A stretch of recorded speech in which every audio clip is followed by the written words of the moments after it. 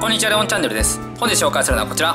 ウルトラヒーロープラスチックカードガムです。これは前回紹介した恐竜ジャーのプラスチックカードガムのウルトラマンバージョンですね。作ってるところはもちろん同じトップ製菓なんですけどトップ製菓は写真のセレクトが最高ですよね。今回はウルトラマンバージョンなので変身前のカードはないんですけど一応ラインナップとしては全25種類プラスレア2種類で初代マンから0までのカードが入ってるそうです。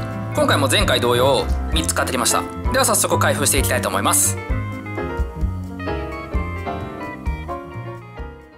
ちなみに狙うは僕の好きなメビウスとかゼロとかあマックスとかも割といいですね。とネクサスのジュネスとかありますね。この辺もいいな。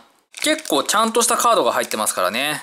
コーラじゃなくってサイダーの匂いがしますね。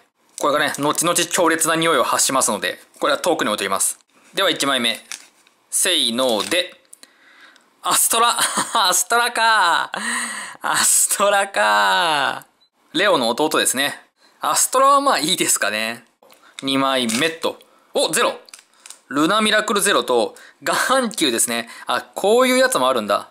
ウルトラゼロファイトって書いてありますね。こういう怪獣とウルトラヒーローが一緒になってるカードもあるみたいです。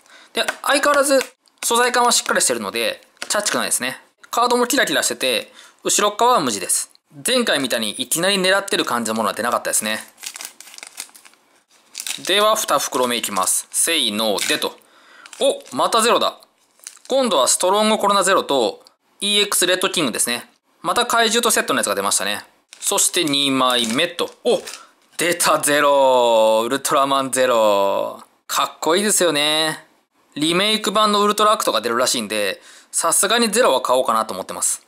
声もイケメンですからね。じゃあ最後いきます。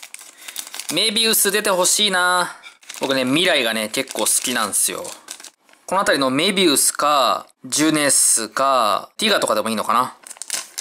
いきます。せいので、よし、ネクサス、ジュネス来ました。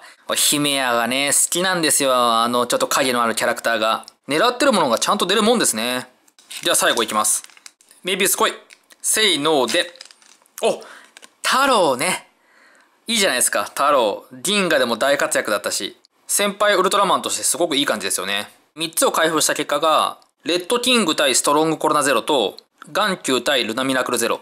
それと、アストラゼロ、ネクサス、太郎と出ましたね。トップ製菓はやっぱり写真のセレクトがいいんですよね。どのウルトラマンもいい感じに写ってます。はい、というわけでトップ製菓のウルトラヒーロープラスチックガムを3つ一気に開封しました。キョウリュウジャーに続いて、ウルトラマンの方も結構いい感じでしたね。しかもこれが1個100円なので、気になる人はセリアで探してみてください。多分普通のスーパーとかでも売ってると思うんですよね。以上、トップ製菓ウルトラヒーロープラスチックカードガムの紹介でした。